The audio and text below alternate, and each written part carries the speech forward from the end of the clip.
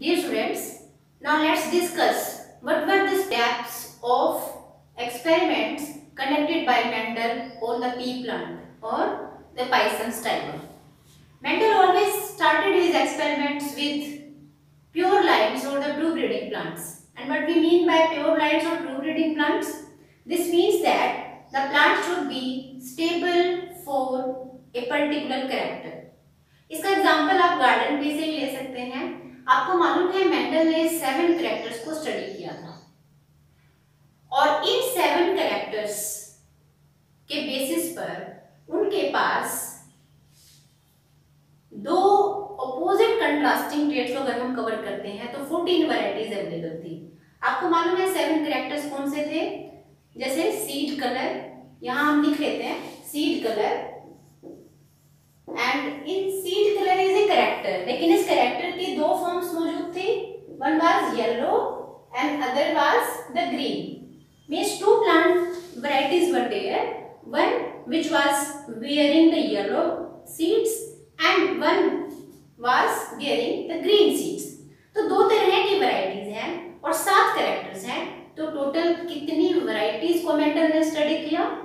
उन्होंने 14 वैरायटीज को स्टडी किया था अपने एक्सपेरिमेंट्स के लिए। यानी उनके जितने भी उन्होंने लॉज प्रपोज किए, उन्होंने जो एक्सपेरिमेंट्स कंडक्ट किए, वो इन 14 वैरायटीज पे किए।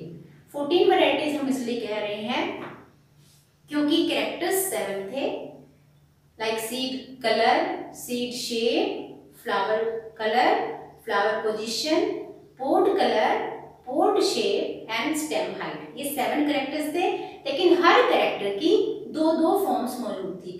Two contrasting traits one present in each and every plant with a special character like I have mention here seed colour if this is the character this is having two types of variety two types of plants one with one with is yellow seed and another is with green seeds likewise अगर flower colour की बात करते हो तो violet colour के flowers आने वाली एक वैरायटी है। दूसरी वैरायटी व्हाइट कलर्स की वैरायटी है। तो इस तरीके से कैरेक्टर सेवन थे, लेकिन उनकी दो अलग अलग फॉर्म्स उन्होंने स्टडी किए थे। कंट्रास्टिंग टेस्ट उनके पास दो दो थे। इसीलिए टोटल फोर्टीन टाइप के वैरायटीज को मेंडल ने अपने एक्सपेरिमेंट्स में इंक्लूड किया था। अब जब बात कर रहे थे इनके स्टेप्स की तो सबसे पहला जो उन्होंने इंश्योर किया एक्सपेरिमेंट्स जब उन्होंने स्टार्टिंग करती थी तो सबसे पहले he was very much conscious about selection of parents parents कैसे होने चाहिए? उनकी जो शुरुआत थी, वो हमेशा प्योर लाइन से या ट्रू ब्रीडिंग प्लांट से रही। तो बात जब ट्रू ब्रीडिंग की चल रही थी, हम ये कह रहे थे कि ये सीड कलर सपोज़ एक प्लांट उन्होंने सेलेक्ट किया, जिसके ऊपर वो एक करेक्टर पे फोकस कर रहे हैं सीड कलर तो यहाँ पे उनके लिए प्योर ब्रीडिंग प्लांट वो था, जैसे एक प्लांट जिसपे येलो कलर के सीड्स आ रहे हैं, उन्होंने इसको बार बार सेल्फ पोलिनेट करवा के देखा। He continued self pollination for a number of generation and generation after generation when he obtain only yellow coloured seeds जितने भी उस प्लांट से प्रोजेनिस आए, उन प्रोजेनिस को फिर से सेल्फ पोलिनेशन के लिए प्रमोट किया। बार बार सेल्फ पोलिनेशन के बाद जितनी भी जनरेशन उनके सामने आती गई अगर सभी के ऊपर येलो की सीड्स आते थे, तब वो इंश्योर हो जाते थे कि ये एक ट्रू ब्रीडिंग प्लांट है, यानी कि इसमें येलो कलर स्टेबल है। इसमें कोई और वेरिएशन नहीं है, कोई और कैरेक्टर मिक्स नहीं है। इसी तरीके से ग्रीन कलर के सीड्स आने वाले जो पेरेंट्स थे, उनको भी उन्होंने बार बार सेल्फ पोलिनेशन करवा के देखा।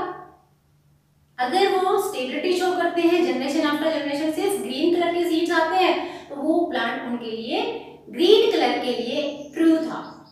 True breeding for green colour only okay तो जितने भी सेवन करेक्टर्स थे, उन उन सेवन करेक्टर्स के लिए जो फोर्टीन उनके पास वैरायटीज थी, उन सभी फोर्टीन वैरायटीज के लिए उनके पास प्योर लाइंस थी। तो ये तो था सिलेक्शन ऑफ़ पेरेंट्स सबसे पहले ट्रू ब्रीडिंग प्लांट्स को उन्होंने सिलेक्ट किया। अब नेक्स्ट स्टेप थी हाइब्रिडाइजेशन की क्रॉस करवाने की जब बात आई। तो आपको जैसे मालूम है कि प्लांट के ऊपर बाइसेक्सुअल फ्लावर आते हैं। Garden pea is having bisexual flower means जैसे यहाँ पे मैंने एक रिप्रेजेंटेशन दी है।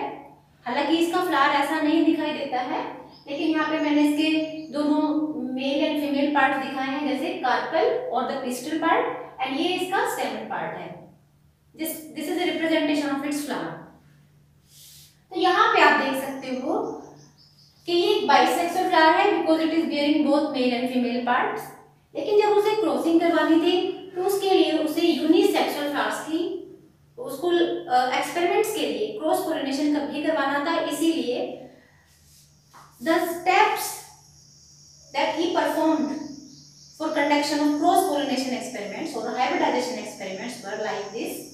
जैसे ये एक प्लांट है, उस प्लांट का जिस पर येलो सीड्स आते हैं। Is of one pure line plant या बियरिंग द येलो सीड्स इसी तरीके से बिल्कुल इसके साथ, अगर हम एक और फ्लावर बना लेते हैं, ऐसे प्लांट का जिसके ऊपर ग्रीन ग्रीन सीड्स आते हैं। तो यानी कि हमारे पास इस वक्त दो तरह के प्लांट्स हैं, उनके ऊपर फ्लावर्स लगे हुए हैं। ये येलो कलर के सीड्स जिस पर आते हैं, उस प्लांट के फ्लावर है। और ये ग्रीन कलर के सीड जिस पर आते हैं, उस कलर के, उस प्लांट के फ्लावर को हमें यहाँ पे शो किया गया अब, जब उन्होंने हाइब्रिडाइजेशन करवानी थी, यानी कि बीच में क्रॉसिंग करवानी थी, अगर आप इसको ऐसे रख देते, तब तो इसमें सेल्फ पोलिनेशन के चांसेस होंगे, क्योंकि इसके ही स्टेमन से पोलन ग्रेन्स निकल के और इसके स्टिग्मा के ऊपर लैंड कर जाएँगे। लेकिन वो नहीं चाहते थे, वो क्रॉस पोलिनेशन करवाना चाहते थे, इसके लिए उन्होंने क्या किया he selected the parents like ये फ्लावर है उन्होंने इनमें से इन दोनों में से किसी एक प्लांट के फ्लावर्स को इमेस्कुलेट किया emasculation was the first step conduction of hybridization steps emasculation का मतलब होता है जब आप इसके स्टेमेंट्स को रिमूव कर देंगे। Removal of young anthers from the bisexual flower तो यहाँ पे देखिए, हमने दिखाया है, अगर with the help of any scissors if we are going to cut this anther part यहाँ से इसका एंथर को कट कर दिया गया है रिमूव कर दिया गया है। अब ये जो फ्लावर है, ये किस तरह का हो गया? This is a flower it is a pistillate flower only क्योंकि इसके ऊपर अब सिर्फ़ कार्पल रह गया है तो ये पिस्टिलेट फ्लावर बन गया है या इसको फीमेल फ्लावर बोल सकते हो। इसके स्टेमन्स को हमने निकाल दिया है। अब इसके पीछे रीजन क्या रहा? क्योंकि यहाँ पे जो पोलन ग्रेन्स है, वो किसी दूसरे फ्लावर से डस्ट करते हैं। तो हमारे पास ये दूसरा फ्लावर है, दूसरे प्लांट का, और इसको हम कह रहे थे कि ग्रीन प्लांट का फ्लावर है। तो अब क्या करेंगे? इसके पोलन ग्रेन स्टेमन से लेंगे। जैसे यहाँ से अब ये इसका फ्लावर दिखाया गया है। इस स्टेमन से पोलन ग्रेन्स लिए जाएँगे और यहाँ पर इसके स्टिग्मा के ऊपर डस्ट कर दिए जाएँगे। यहाँ पे किन दो तरह के प्लांट्स के बीच में क्रॉसिंग चल रही है? किन दो प्लांट्स के बीच में हाइब्रिडाइजेशन करवाई जा रही है? It is hybridization between the yellow and green coloured seeds plant. दो ऐसे पेरेंट्स लिए गए हैं, जिन पर येलो और ग्रीन कलर के सीड्स आते हैं। तो ये फ्लावर हमारा ग्रीन कलर ये जो, ये वाला जो फ्लावर है, ये येलो कलर के सीड जिस पर आते हैं, उस प्लांट का फ्लावर है। और ये ग्रीन कलर के सीड्स जिस पर आते हैं, उस फ्लावर का फ्लावर है। तो यहाँ पर इन दोनों के बीच में हम क्रॉसिंग कैसे करवाने हैं, सबसे पहले हमने इसको इमेस्कुलेट किया मतलब हमने इसके एंथर को कट कर दिया, जिससे कि सिर्फ़ फीमेल फ्लावर बन जाए। और दूसरे दूसरे जो फ्लावर है, उस प्लांट का, वहाँ से हमने स्टेमन से पोलन को इकट्ठा किया और इसके बाद इसके स्टिग्मा के ऊपर इसको डस्ट कर दिया जाता है। तो first step while hybridization is emasculation means removal of anther then we will cover it इसको हम बैग से कवर कर देंगे जिससे कोई अनवांटेड पोलन इसके ऊपर लैंड ना कर जाए और फिर उस बैग को हटा के हम इसके ऊपर डस्ट करने वाले हैं डिजायर्ड पोलन ग्रेन्स को, जैसे यहाँ पे हमें उस प्लांट के पोलन लिए जिसके ऊपर ग्रीन सीड्स आते हैं। जब पोलन ग्रेन्स को इसके ऊपर डस्ट कर दिया गया, फिर से दोबारा से इसकी हम रिबैगिंग कर देंगे। रिबैगिंग का मतलब कि इसको दोबारा से हम किसी बैग से कवर कर देंगे।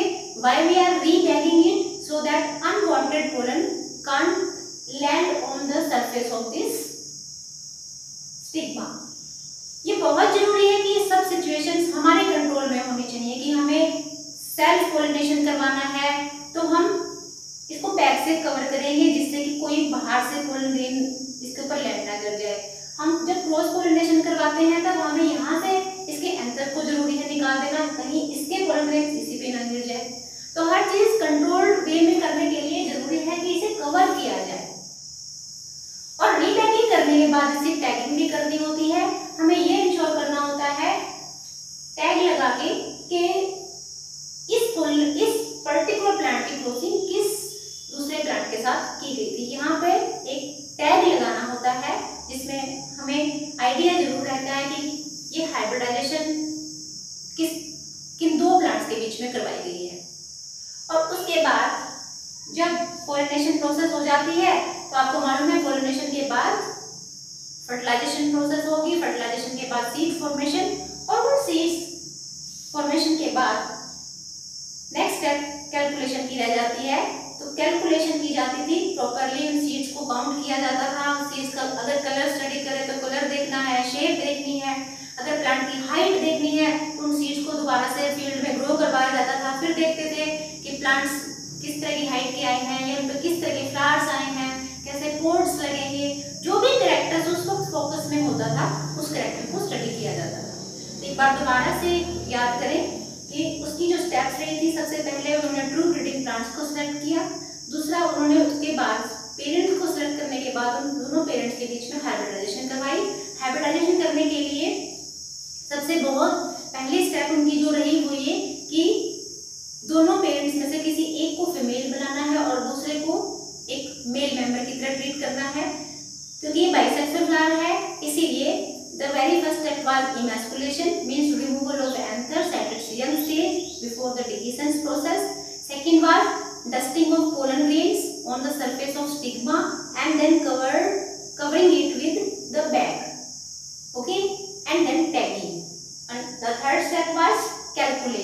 जितने भी रिजल्ट्स आते थे उन्हें वो प्रॉपरली रिकॉर्ड करके और फिर कैलकुलेशन